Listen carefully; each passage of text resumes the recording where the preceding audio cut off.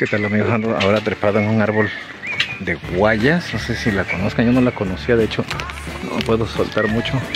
Este árbol da unas frutas que son como estas que a ver si alcanzan a ver.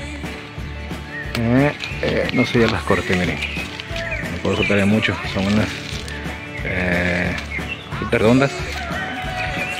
Algunas son este, de color blanco, son de color blanco, pero esas yo no las conocía, las he visto naranjas.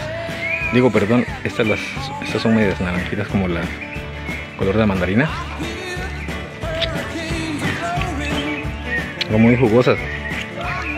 Muy dulces, así agridulces. Tienen una semilla muy grande. Es grande. Mm. Puedo enfocar bien, no sé. Aquí, aquí tengo otra, miren. Estas están en racimos.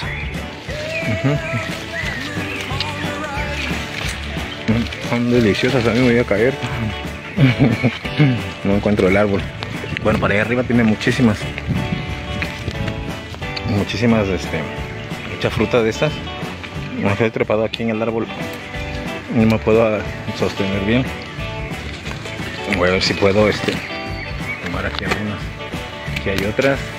Ahí hay unos racimos, pero no, sé si se alcanzan a ver. Hay unos racimos de guayas. Entonces déjenme ahorita les muestro una otra fruta que hay por acá. Donde ande. Me puedo trepar a,